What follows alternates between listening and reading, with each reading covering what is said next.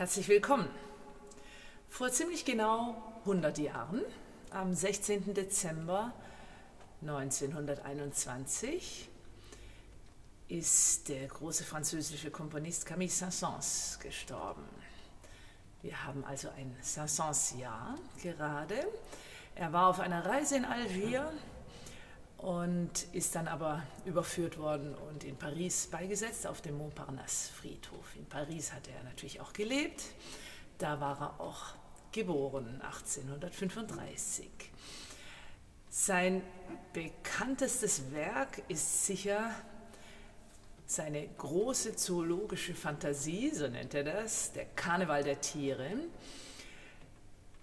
deren Veröffentlichung er aber nicht zugestimmt hat zu Lebzeiten. Die ist dann erst posthum verlegt worden und sehr berühmt geworden. Ebenfalls bekannt seine symphonische Dichtung äh, La Danse Macabre, Totentanz. Ähm, mit dieser hat er das Xylophon in das symphonische Orchester eingeführt, sozusagen. Ebenfalls sehr berühmt seine große Oper Samson und Dalila. Außerdem gibt es viel Orchestermusik von ihm, unter anderem sein Cellokonzert A-Moll, welches wir letztes Jahr im Silvesterkonzert aufführen wollten. Ist dann aus den bekannten Gründen nichts draus geworden. Wir versuchen es weiter.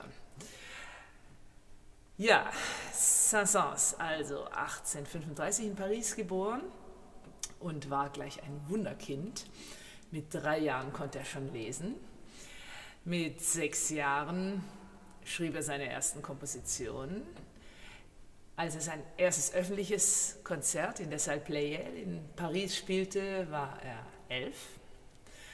Und seine erste Sinfonie hat er mit 15 geschrieben. Dann auch mit 16 war er schon Student am Konservatorium in Paris, hat Klavier, Orgel und Komposition dort studiert.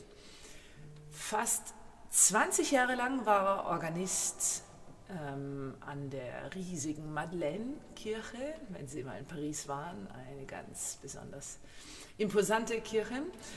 Äh, und vorher war er in Saint-Séverin Organist und in Saint-Méry an einer KW-Koll-Orgel auch. Nicht zuletzt deshalb hat er auch viele Orgelkompositionen veröffentlicht. Ähm, sehr bekannt ist ja auch seine große Orgelsinfonie, die wir 2016 im Weihnachtskonzert vor fünf Jahren hier gemacht haben, wobei da der Organist fast nichts zu tun hat, außer ein paar schicken Akkorden. Ähm, die Fachleute verweise ich sehr gerne auf die neue Fassung, ganz neu erschienen von Guy Beauvais, wo er ähm, für kleines Orchester das Stück arrangiert hat und den Orgelpart dann wirklich groß gemacht hat, ähm, sodass das wirklich ein Orgelkonzert geworden ist. Ganz tolle Fassung gibt es auch schon eine CD davon. In den 80, 1880er Jahren galt Saint-Saëns als der größte Komponist seines Landes dann ist sein Stern so ein bisschen verblasst. Er war immer noch ganz berühmt natürlich, hat auch konzertiert bis zuletzt. Aber das war so ein bisschen ähnliches Schicksal wie bei Max Bruch auf deutscher Seite. Der ist 1920 gestorben und auch ähm, Romantiker gewesen und dann eigentlich so ein bisschen aus der Mode gekommen, ins 20. Jahrhundert hinübergeragt, sozusagen, also einer vergangenen Epoche angehört und dann einfach ein bisschen ging die Zeit über die beiden Komponisten hinweg. Aber das ändert nichts an ihren großartigen Werken. 1916, also schon durchaus in hohem Alter, ähm, gab es eine Bronchitis-Erkrankung bei Saint-Saëns. Er lag da nieder, ans Bett gefesselt und hat angefangen, seine Set Improvisation, sieben Improvisationen, niederzuschreiben. Äh, nach einer Pause von zehn Jahren, er hatte vorher einige Zeit nichts für Orgel komponiert und dann kam dieses Werk, Opus 150, aus dem ich Ihnen jetzt etwas spielen möchte.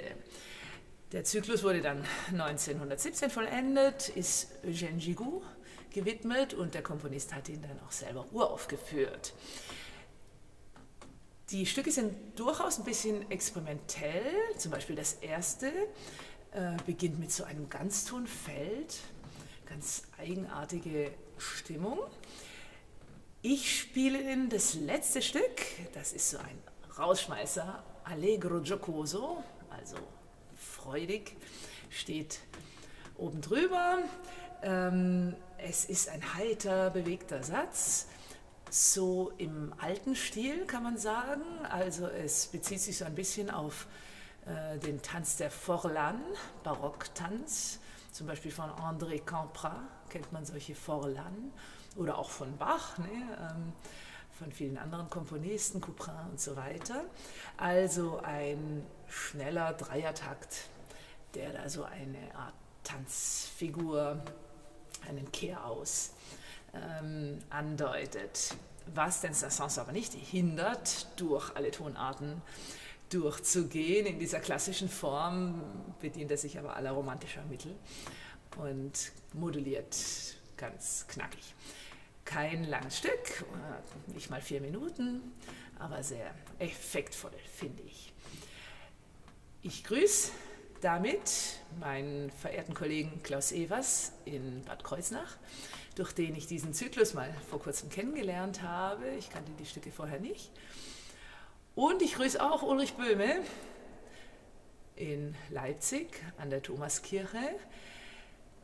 Ähm, dieses letzte Stück, was ich jetzt eben spiele, habe ich bei ihm kennengelernt sozusagen. Ich war im Mai auf Sauerorgeltour, weil wir ja unsere Sauerorgel restaurieren müssen demnächst. Und da war ich unter anderem auch in der Thomaskirche Leipzig und habe an dieser Orgel gespielt. Und als ich reinkam in die Kirche, hat Ulrich Böhme gerade dieses Stück gespielt. Ich kannte es damals noch nicht, habe nur drei Töne gehört davon, aber war sofort begeistert von dem Klang und von der Atmosphäre und habe dann gefunden, das Stück möchte ich auch unbedingt spielen. Ulrich Böhme ist gerade jetzt in den Ruhestand gegangen nach 36 Jahren Tätigkeit als Thomas-Organist an diesem bedeutenden Posten, auf diesem bedeutenden Posten. Also herzlichen Glückwunsch und alles Gute für die Pensionszeit. Und allen Zuschauern und Zuhörern auch eine gute Zeit und einen schönen Advent. Bis bald. Tschüss.